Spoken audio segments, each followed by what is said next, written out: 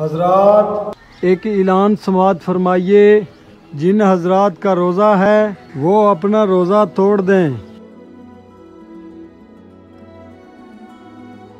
ये मौलवी साहब पागल तो नहीं हो गया? अभी मैं इसको बताता हूँ।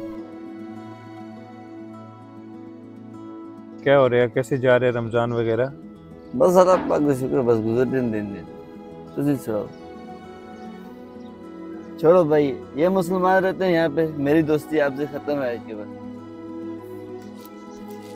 इस मौलवी की ये जुरत इसने मुझे अपने दोस्त के सामने जलील करवा दिया।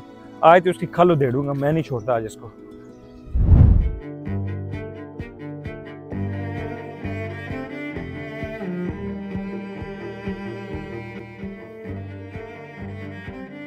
अरे मौलवी इधर मेरी बात सुन। जी भाई जान क्या बात है? बाहर आ बाहर। इधर बाहर आ अंदर आके नहीं बात हो सकती बाहर आ अंदर ही आ जाओ भाई जान अल्लाह का घर है। कभी इधर आयो? तुम कौन होते हो ये बात बोलने वाले कि रोजा तोड़ो? रोजा तो हम अल्लाह की रजा के लिए रखते हैं। मखलूक के लिए तो रखते नहीं है। तुमने ये बात क्यों कही है कि वो रोजा तोड़ो सारे? रुको भाई जान ये अल्लाह का घर है।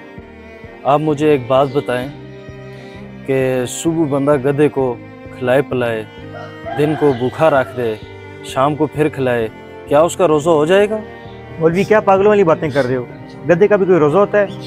लगता है ये मौलवी पागल हो गया। मुझे लगता है इनको थोड़ी थोड़ी समझ आ रही है अब। आप लोग रोज़ा रख लेते हो पूरा दिन गधे की तरह सोए रहते हो दुनियावी कामों पे लगे रहते हो। इस तरह तो रोज़ा नहीं होता। मौलवी साहब आपकी ये बात मेरे ऊपर सूट नहीं करती। उसकी वजह यह है मैं घर में दिन की पूरी पाँच नमाजें पढ़ता हूँ। ये जो मस्जिद बनाई गई है ये फजूल में बनाई गई है। ये जो बंदे इधर आके नमाज़ पढ़ते हैं पागल लगते हैं आपको ये? आज के बाद ना मुझे ये मस्जिद चाहिए ना मुझे आपकी तनख्वाह चाहिए। मैं यहाँ से जा रहा हूँ। आप जानो आपके काम जाने।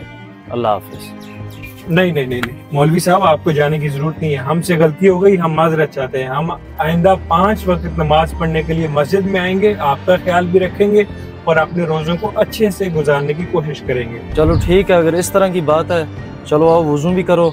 नमाज़ का टाइम हो रहा है जमात के साथ नमाज़ पढ़ते हैं ठीक है मौलवी साहब आप इसीलिए जो लोग अल्लाह की रज़ा के लिए रोज़ा रखते हैं, उनको चाहिए कि अल्लाह की रज़ा के लिए नमाज़ बाजमात भी पढ़ा करें।